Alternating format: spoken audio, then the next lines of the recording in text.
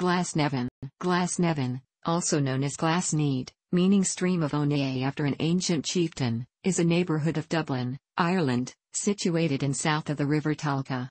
While primarily residential, Glasnevin is also home to the National Botanic Gardens, National Meteorological Office and a range of other state bodies, and Dublin City University has its main campus and other facilities in and near the area. Glasnevin is also a civil parish in the ancient barony of Coolock. A mainly residential neighbourhood, Glasnevin is located on the north side of the city of Dublin, about 3 kilometres north of Dublin city centre.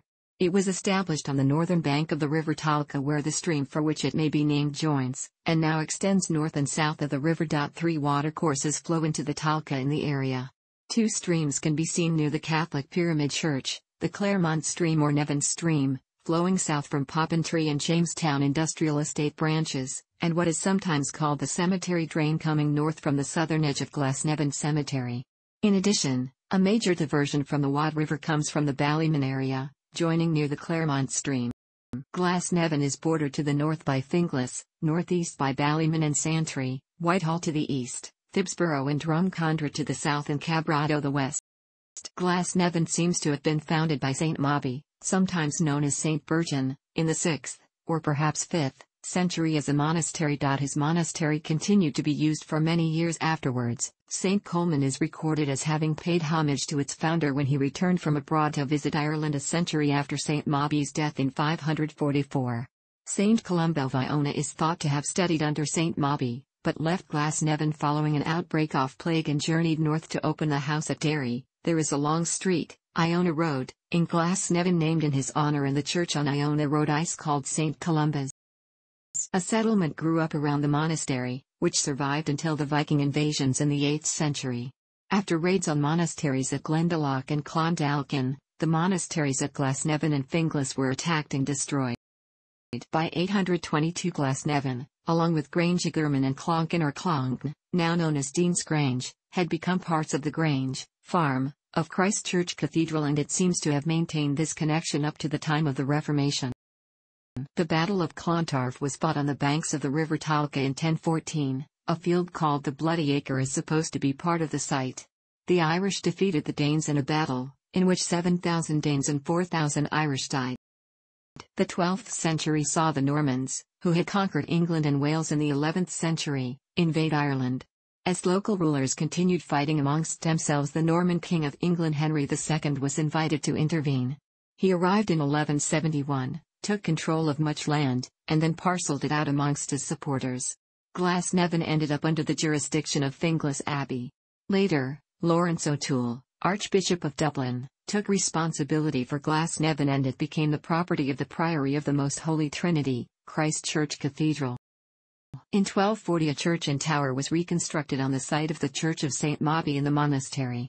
The returns of the church for 1326 stated that 28 tenants resided in Glasnevin. The church was enlarged in 1346, along with a small hall known as the Manor Hall. When King Henry VIII broke from Roman era of religious repression began. During the dissolution of the monasteries, Catholic Church property and land was appropriated to the new Church of England, and monasteries, including the one at Glasnevin, were forcibly closed and fell into ruin. Glasnevin had at this stage developed as a village, with its principal landmark and focal point being its bullring noted in 1542. By 1667 Glasnevin had expanded, but not by very much, it is recorded as containing 24 houses. The development of the village was given a fresh impetus when Sir John Rogerson built his country residence, the Glenor Glasnevin House, outside the village. The plantations of Ireland saw the settlement of Protestant English families on land previously held by Catholics.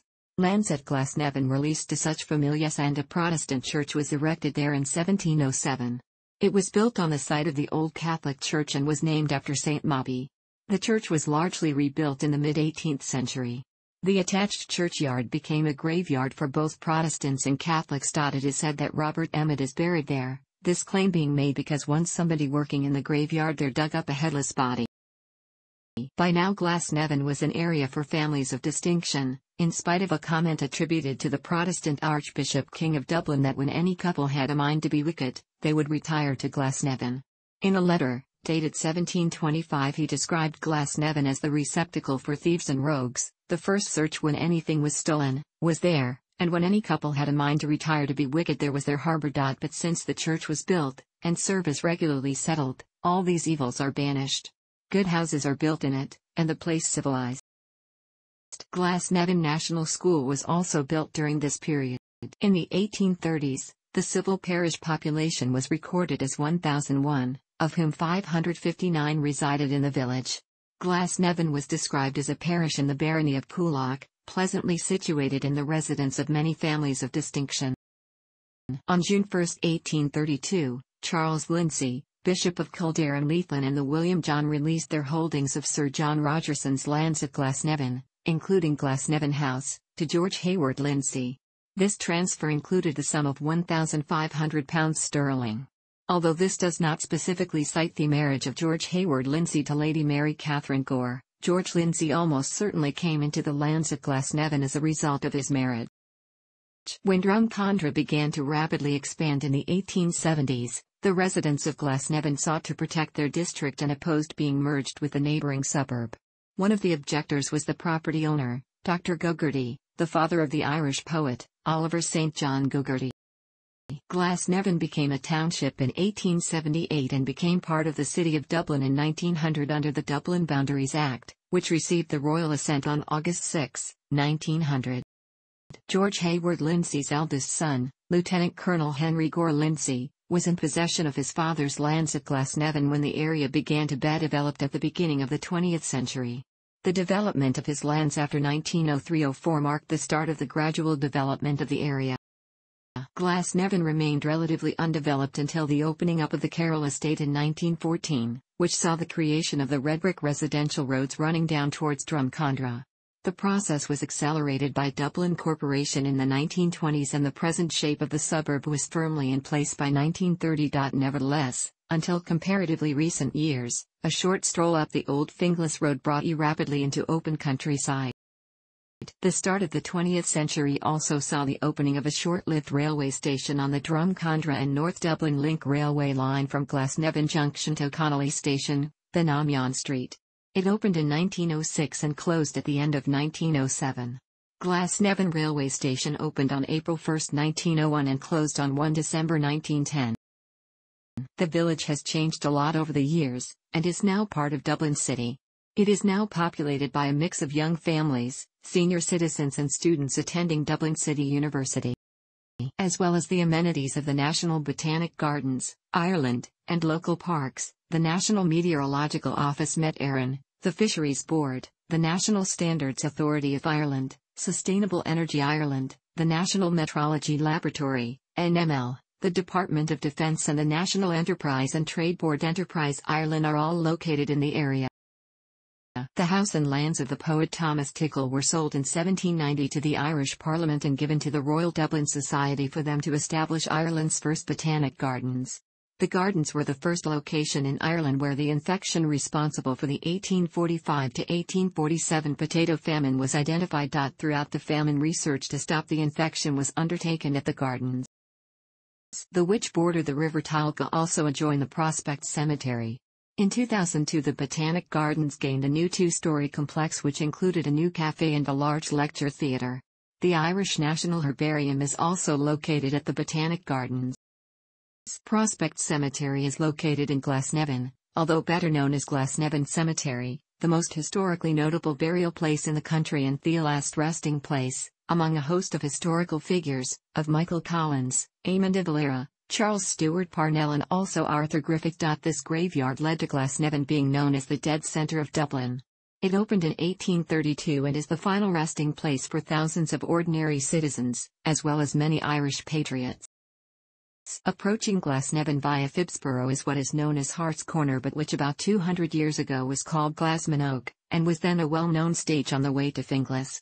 At an earlier date the name possessed a wider signification and was applied to a considerable portion of the adjoining district. At the start of the 18th century a large house, called Delville, known at first as the Glen, was built on the site of the present Bon Secours Hospital, Dublin. Its name was an amalgamation of the surnames of two tenants, Dr. Helsam and Dr. Patrick Delany, as Heldeville, both fellows of Trinity College. When Delany married his first wife he acquired sole ownership, but it became more well known as the home of Delany and his second wife, Mary Pendarvstott. She was a widow whom Delany married in 1743, and was an accomplished letter writer. They couple were friends of Dean Jonathan Swift and, through him, of Alexander Pope. Pope encouraged the Delanys to develop a garden in a style then becoming popular in England, moving away from the very formal, geometric layout that was common. He redesigned the house in the style of a villa and had the gardens laid out in the latest Dutch fashion creating what was almost certainly Ireland's first naturalistic garden. The house was, under Mrs. Delany, a centre of Dublin's intellectual life. Swift is said to have composed a number of his campaigning pamphlets while staying here. He and his lifelong companion Stella were both in the habit of visiting, and Swift satirized the grounds which he considered too small for the size of the house. Through her correspondence with her sister, Mrs. Dewes, Mary wrote of Swift in 1733, he calls himself my master and corrects me when I speak bad English or do not pronounce my words distinctly. Patrick Delany died in 1768 at the age of 82, prompting his widow to sell Delville and return to her native England until her death 20 years later. Glasnevin is also a parish in the Fingal Southwest Deanery of the Roman Catholic Archdiocese of Dublin. It is served by the Church of Lady of Dolours. The church underwent some refurbishment work inside and in its grounds and car park during the first half of 2011. A timber church, which originally stood in Berkeley Road, was moved to a riverside site on Botanic Avenue early in the 20th century. The altar in this church was from Newgate Prison in Dublin. It served as the parish church until it was replaced, in 1972, by a structure resembling a pyramid when viewed from Botanic Avenue. The previous church was known locally as the Woodner or the Wooden, and the new building is still known to older residents as the New Woodener or the Wigwam. In 1975, the new headquarters of Met Éireann, the Irish Meteorological Office, opened just off Glasnevin Hill, on the former site of Marlborough House. The Met Éireann Building 2 was built in a somewhat pyramidal shape and is recognized as one of the most significant, smaller commercial buildings, to be erected in Dublin in the 1970s. Griffith Avenue, which runs through Glasnevin, Drumcondra, and Marino. The avenue spans three electoral constituencies. It was named after Arthur Griffith, who was the founder and third leader of Sinn Féin and also served as president of Dáil Éireann. Arthur Griffith also was buried in Glasnevin Cemetery. The Gaelic games of Gaelic football, hurling, Camogie and Gaelic handball are all organised locally by Na Fianna CLG, while soccer is played by local clubs Tolka Rovers, Glasnevin FC and Glasnevin FC basketball is organised by Tolka Rovers. Tennis is played in Charleville Lawn Tennis Club which was founded in 1894 and took its name from the original location at the corner of the Charleville and Copper Roads. The move to its present location on Whitworth Road took place in 1904.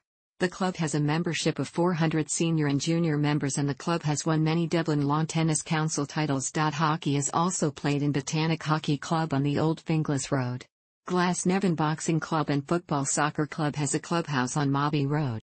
Scouting is represented in Glasnevin by the First Dublin, LHO, Scout Troop located on the corner of Griffith Avenue and Ballygall Road East. The Scout Group celebrated 100 years of scouting in 2011, making it one of the longest established Scout groups in the world. There are several primary schools in Glasnevin, including Lindsay Road National School, Glasnevin National School, Glasnevin Educate Together National School, North Dublin National School Project, Scoil St. Bridget's GNS, St. Columba's NS and St. Vincent's CBS. There are several Roman Catholic secondary schools in the area St. Vincent's, Christian Brothers, School, Scoil Chaitríona and St. Mary Secondary School. Billy Whelan, one of the eight Manchester United players who lost their lives in the Munich air disaster of February 6, 1958, was born locally on April 1, 1935. He is buried in Glasnevin Cemetery. Glasnevin is part of the Dáil Éireann constituency of Dublin Central and Dublin Northwest. Thanks for watching. Don't forget like the video and don't forget to subscribe.